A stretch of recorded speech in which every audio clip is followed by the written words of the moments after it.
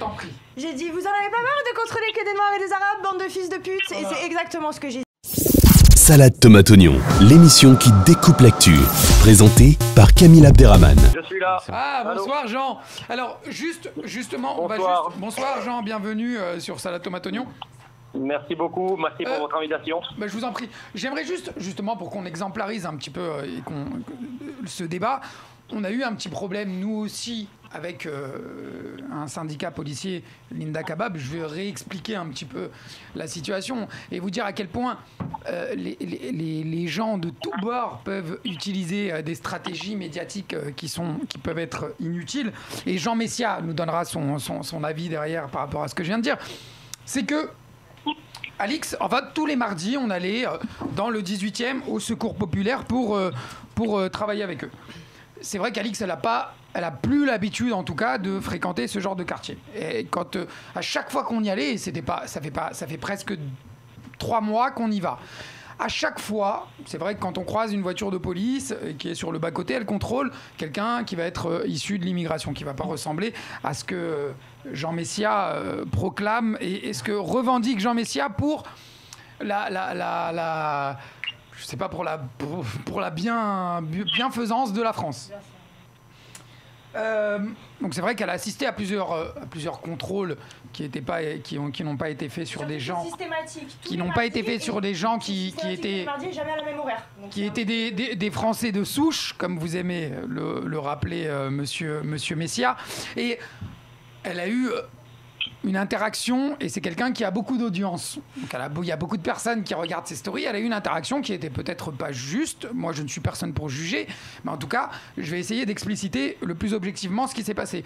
Donc elle a dit voilà, c'est vrai qu'à chaque fois, bon, euh, il y, a des flics. Alors vas-y, dit- je t'en prie. J'ai dit, vous en avez pas marre de contrôler que des noirs et des arabes, bande de fils de pute? Et c'est exactement ce que j'ai dit. Sauf qu'en fait, la vidéo n'était pas complète et qu'après, je dis, bon, effectivement, euh, il y a des mauvais dans la police, mais il n'y a pas que ça. Mais c'est bizarre parce que tous les mardis, je passe ici et systématiquement, je vois un contrôle et c'est soit un noir, soit un arabe. Et moi, derrière, je lui ai, je lui ai expliqué, je lui ai expliqué tout simplement, factuellement, que c'est vrai que dans le 18e, euh, moi je suis quelqu'un du 92, mais c'est à peu près pareil.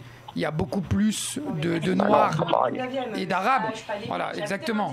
Elle le sait. Sur le trottoir, il y a des blancs. Bien sûr qu'il y a des blancs, bien sûr, on est totalement d'accord.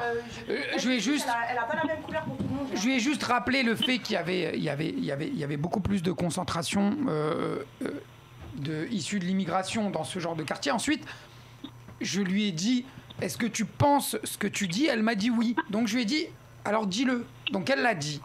L'a dit. Il y a des gens qui l'ont mal pris. J'ai invité Linda Kabab. Euh, je peux mettre la preuve assez rapidement. J'ai invité, j'ai appelé tous les syndicalistes euh, poli- euh, poli- de police. Ils ont personne n'a voulu répondre. Malheureusement, on sait pourquoi. Moi, ils préfèrent me tweeter parce que ça leur apporte un On sait pourquoi, on sait pourquoi ils n'ont pas répondu, juste parce que ils savaient qu'il y avait une deuxième vidéo derrière où elle-même faisait son propre procès et disait voilà bon je ne parle pas de tout le monde mais c'est vrai que ceux qui sont pourris eh ben je, je, je, je les considère comme, euh, comme- Non, je suis désolée. voilà après c'est elle a le droit d'insulter et Jean Messia Justement, non, elle a pas le droit d'insulter. Attends, je veux terminer. dis juste une chose. Pour toutes les personnes qui se seraient senties insultées quand j'ai dit ça, le problème c'est que les personnes qui se sont senties insultées, c'est les personnes qui se sentent concernées. Sauf que si tu ne fais pas de choses qui sont soit des bavures policières ou soit du contrôle abusif ou que tu ne te sens, tu ne te sens pas, euh, tu fais ton travail correctement, tu n'as pas de raison de te sentir insulté. Pas Moi je problème. parle que des gens qui font mal leur travail. et on va parler de Jean Messia qui a fait un tweet euh, majestueux si je peux me permettre hein, Jean euh, si, Oui, Si j'ai- permettez-vous. si j'ai la possibilité de vous parler, autant vous dire ce que je pense clairement. Bonsoir Jean. euh, Réponds Allez, donc, faut euh. Jean Messia, Bonsoir. j'espère que vous C'est Aurélien. Taché, je voulais te saluer quand même puisque je suis sur le Salut plateau. Aurélien, comment Je- vas-tu? voilà, juste pour que vous sachiez, voilà, il y a une, vict- il y a une, une journaliste qui s'appelle Victoire, il y a Maître Nabil Boudi qui est le euh, connu pour avoir défendu euh, les djihadistes, euh, enfin en tout cas pour avoir pris euh, être l'avocat euh, des djihadistes qui sont en Irak. Il y a Stanislas Rigaud qui est de l'étudiant libre, donc un peu plus proche euh, de, votre épaule droite, et euh, Anas Kazib et euh, Aurélien Taché qui vient de se présenter. Donc voilà, vous avez fait un petit tweet. Euh, moi, je vous, je vous aime, enfin, je vous aime bien. Je trouve que vous êtes, euh, vous êtes, non, pas non, je sais que vous êtes quelqu'un de sympa, mais c'est vrai que j'ai l'impression qu'avec votre tweet, euh, c'est exactement la même chose. C'est pareil. On peut plus rien dire, on peut plus essayer vraiment de traiter des problèmes et que vous, vous, nous- vous nous avez fait un peu une castanère, une castanère avec Camélia Jordana. C'est-à-dire que vous avez déplacé le problème en disant pourquoi tant de haine alors qu'on parle juste?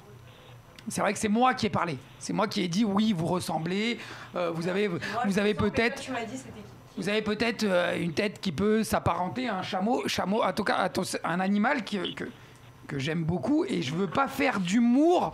euh, Enfin, je veux pas faire d'irrévérence face à vous pour de vrai. Yacine. Non, pour de vrai. Parce que oui, Yacine l'a déjà fait. Mais Jean Messia, le problème, Ouais, c'est que Jean, que- Jean n'accepte plus. Maintenant, quand il y a le mot chameau et Jean à côté, donc Jean Chameau, c'est plus possible. On peut Oui. pas appeler quelqu'un Jean Chameau. Mais J'entends ça. Mais non, mais c'est pas ça, c'est que c'est quand même. Allez-y, cette attitude est assez extraordinaire parce que euh, j'ai entendu la terre entière, à commencer par certains de ceux qui sont sur le plateau, sinon la totalité, s'insurger lorsqu'on a, à juste titre d'ailleurs, lorsqu'on a traité euh, Christiane Taubira de singe. Alors pourquoi dans ce cas-là, euh, tout- Non, non, que mais- ça devient complètement scandaleux et raciste, et quand moi je suis traité de chameau, ça Stan. devient amusant, drôle et rigolo. Non. Stan, je t'en prie, Stan. Non, mais c'est la, même- la chose. Vas-y. Stan. Pourquoi, pourquoi on n'aurait pas le droit, on aurait le droit de dire que Monsieur Messia ressemble à un chameau et on n'aurait pas le droit de dire que Madame Taubira ressemble à un singe? Soit on a le droit de le dire dans la, dans la classe, on n'a pas le droit de le dire du tout. Euh, c'est- que- Parce qu'en fait, la- je, je termine juste mon propos, l'animalisation, l'animalisation de l'adversaire, quel qu'il soit, euh, c'est ça la véritable extrême droite en fait. Et d'ailleurs tous ceux qui, qui se sont pris à cet exercice, que ce soit Jean-Marie Le Pen à, un- à une certaine époque en traitant Faudécilla de, de, de gros ébus fous, ou que ce soit euh, la personne qui a traité Madame Taubira euh, de singe, les deux ont été à juste titre condamnés par la justice. Donc il ne doit pas y avoir en France deux poids deux mesures. L'animalisation, soit elle est marrante pour tout le monde et tout le monde rigole quand, quand, quand quelqu'un est animalisé, quel que soit son bord politique, Non. soit elle est interdite Jean pour Messia. tout le monde et dans ce cas-là, Jean Messia. ça doit scandaliser tout le monde quand quelqu'un est, est Monsieur Messia. quel que soit, Monsieur- quel que monsieur- soit son, politique. On est en plein dedans là. Vous faites Attends. quelque chose qui n'est pas un problème. En fait, ce que vous n'avez pas apprécié, c'est que, vous savez quoi, je vais vous dire un truc. Demain, vous auriez ressemblé à un hippocampe. J'aurais dit, ouais, tu ressembles à l'autre qui a une tête d'hippocampe. Ben, c'est pareil en fait, ça n'a rien à voir. Ni Non, c'est avec- pas- c'est pas pareil. ni- ni- Quand c'est ça- ça- quand c'est ça- exactement pareil. C'est exactement Après, pareil. Attendez, attendez. On va pas. Non, euh, c'est pas le débat. C'est pas le débat. En plus de ça, c'est une blague. non, non, attendez, parce que j'ai pas terminé, s'il vous plaît. je voudrais juste m'écouter? Je n'ai répondre pas à terminé. Alix. En plus de ça, eh ben, attendez, vous êtes en train de me répondre, moi je une vous réponds. Monsieur Messia, elle vous parle, elle vous parle et ensuite je, je vous accorde une réponse totale. Je, je bloquerai le, je bloquerai le micro sur la gauche.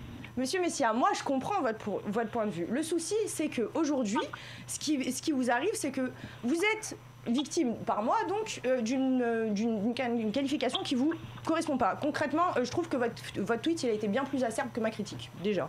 En plus, euh, je tenais à vous dire autre chose, c'est que t'étais une cagole en plus. oui, bah écoutez, si vous voulez. Mais moi, ça me dérange pas d'être une gagole. J'habite pas à Marseille, dommage. Mais mis à part ça, ce qui vous a dérangé, c'est qu'en fait, une blague qui a été faite par un humoriste a été reprise par quelqu'un d'autre. Je comprends pas, en fait. Ça veut dire que si demain Gad Elmaleh fait une blague drôle, j'ai pas le droit de la refaire? Bah, c'est ce qui fait Et en plus de ça, il trouve que je trouve que vos opinions politiques. c'est que, Je suis pas trop fan, vous avez le droit d'être vous avez le droit d'être, vous avez le droit d'être, un- c'est- vous avez le droit d'être, un- Aujourd'hui, moi, vous avez le droit d'être un Allez-y, perroquet si vous voulez. Allez-y, Monsieur. Messia. Vous avez le droit d'être un perroquet, ça me dérange pas, mais enfin, comme vous, quand vous tournez une vidéo où vous me traitez effectivement de tête de chameau et que derrière il y a un de vos petits camarades qui me traite de grosse merde, Oui, il faut moi, pas c'est venir moi. ensuite donner des leçons de tolérance et d'humanisme euh, et de bien, bienveillance et, et, et, et, et- et décrier la haine qui est soi-disant déversée quand soi-même on a des paroles Monsieur et des Messia. propos de haine à l'endroit de quelqu'un. Un Monsieur- faut être logique. Non, attends, attends, Alix, s'il te plaît. En fait, soit on fait, soit on discute chacun notre tour, tu vois. En fait, c'est comme ça, c'est compliqué. Mais tout le monde a le droit à un petit peu, à très peu de temps de parole. Et je vais te passer la. le- la parole juste après euh, maître Nabil Boudi qui est là avec nous.